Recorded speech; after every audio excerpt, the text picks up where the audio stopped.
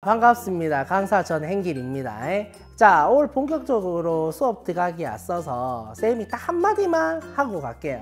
자, 여기 교장 될 사람도 있고 4급 서기관, 사무관 될 사람도 있고 할 텐데 세상이 몰상식한 사람들이 너무 많다카는 이야기를 들었어요. 어디서 나타났길래 이 갑질하는 놈들이 뭐 이래 많아.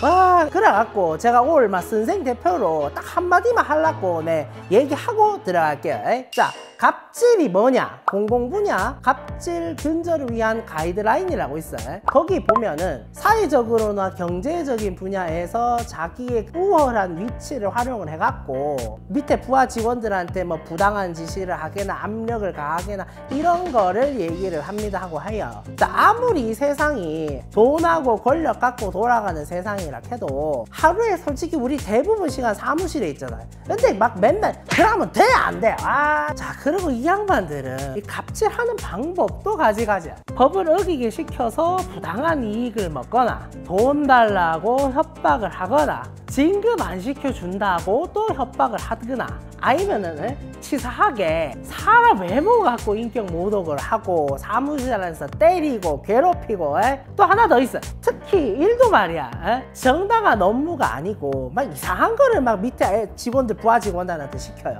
야뭐 진짜 뭐 자기 자식 유치원 보내는 거 있잖아 에? 그런 거를 막 밑에 부하 직원들한테 시키고 니들은 막 손이 없나 발이 없나 에? 자 문제는 이 자기가 하는 게 이게 갑질인 줄도 모르고 있는 것들이 너무도 많아 자 첫 번째 부하 직원한테 야야야 저기야 딱 하는 거 이거 이거 갑질입니까 아닙니까 당연히 갑질이지 에?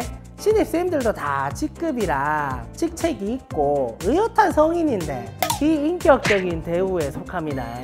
자, 두 번째. 교장 선생님이 행정실 직원한테 출판사에서 돈 받았을는지는 모르겠는데 아무튼 그 특정 교재를 탁 집어가지고 얘로 주문해라 지시를 했어요. 일단 당연히 갑질이에요.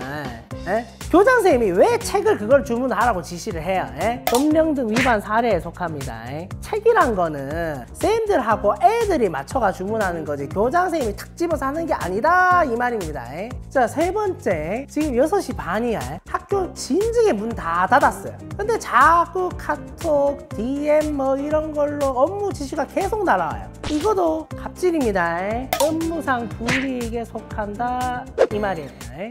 자, 직장 내 갑질이라 하는 게 누구한테는 이게 갑질이야? 뭐 이런 식으로 받아들여질 수가 있어요. 그래서 내가 그 기준을 오늘 딱 정해주겠다 이 말입니다. 자, 첫 번째, 직장에서의 지위나 관계의 우위를 이용하는 경우 자, 두 번째, 업무상 적 정 범위를 넘어서는 경우 자, 세 번째, 자, 신체적이나 정신적인 고통을 주거나 근무 환경을 악화시키는 경우 이 세 가지가 다 충족이 돼야지만이 갑질이 되는 겁니다. 자, 받아 적었습니까? 자 예를 들어서 교장 선생님이 신규 교사한테 10분 만에 밥을 먹고 오라 이렇게 지시를 내렸어요. 그래가지고 신규 교사가 배도 고프고 속이 많이 상했어. 이 갑질입니까 아닙니까? 당연히 갑질이죠. 자, 근데 그 반대로 신규 교사가 교장 선생님한테 10분 만에 식사 다 하시고 오세요 이렇게 지시를 내렸어요. 이 갑질입니까 아닙니까? 자, 교장 선생님 입장에서는 이게 뭐야? 이럴 수가 있잖아, 그죠? 그렇게 무마시켜 버릴 수가 있기 때문에 이거는 갑질의 대상이 될 수가 없는 겁니다. 자, 이렇게 갑질 판단의 기준은 당사자와의 관계, 행위 장소나 상황, 그리고 피해자의 반응, 행위 내용의 정도, 그리고 그 얼마나 지속되었는가, 얼마나 오래 했는가 이런 여부들을 종합적으로 판단해 가지고 이게 갑질이다 아니다 라고 구분하는 겁니다. 자, 쌤이 너무 많이 흥분했죠.